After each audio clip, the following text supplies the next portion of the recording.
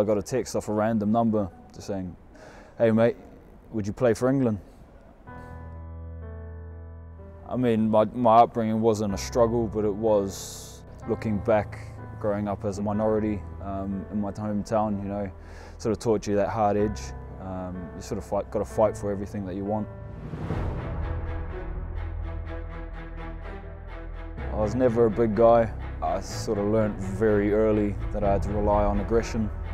I'm not one to sit around and, and talk. I'd, um, I'd rather do my leading out on the field.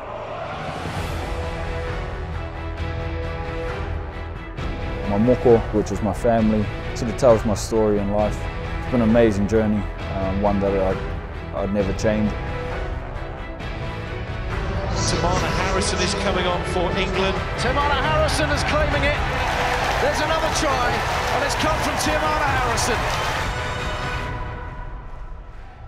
People come up and talk to you and just want to know, know my story.